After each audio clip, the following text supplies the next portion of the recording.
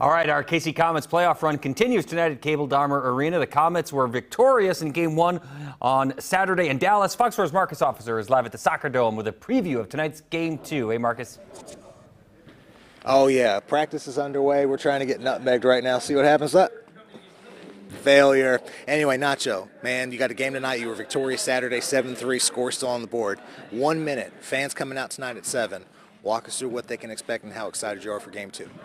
Really excited. We're all really excited. Happy with the result we got in the last game, but we haven't done anything yet. We got to go come out strong tonight, look for that win, and uh, it's going to be exciting. It's going to be amazing. I hope our fans come, and if you're not planning on it, let's just change your plans right now because you have to come. You got to come tonight, support us. We're going to give you guys a good show, and uh, we're going to win tonight. 4:30. You got tacos out there in the parking lot. We're gonna have fun. Uh, how do you feel going into tonight's game after a physical one on Saturday? Uh, physically, I feel great, and I feel like um, all my teammates feel the same way. We're excited, we're motivated, and we just can't wait for this game. Sorry, Dallas, it's gonna hurt. Nacho, man, get to practice. Appreciate your time, man. You, man. We're gonna send it back to you in the studio because uh, these boys got to get to work. In fact, we'll check back in at nine o'clock once the sweat gets going. But believe it or not, these guys can run for six miles and not sweat at all. I'm sweating just it. standing that there's a difference. There's a significant Slight, difference. little bit. These guys, little bit. they're that good. All right, awesome. Thanks a lot, Marcus. It is